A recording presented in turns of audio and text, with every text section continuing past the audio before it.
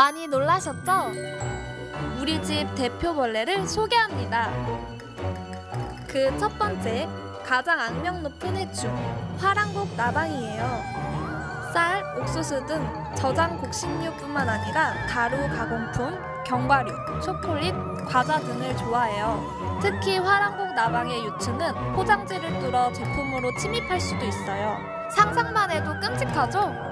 다음은 대표적인 쌀벌레 쌀바구미인데요. 그 이름답게 쌀에 구멍을 뚫어 알을 까고 쌀 안에서 부화한 유충이 쌀을 갉아먹으며 성장해요. 번식력이 강하고 쌀 전체를 파먹어 한 번 생기면 쌀이 사라져버릴지도 몰라요.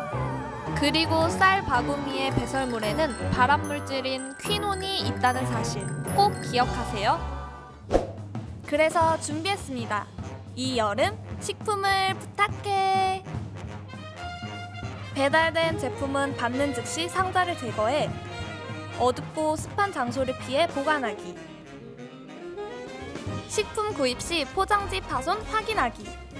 용기 또는 포장지의 구멍으로 외부 공기가 유입되면 곰팡이의 새로운 보금자리가 될 거예요.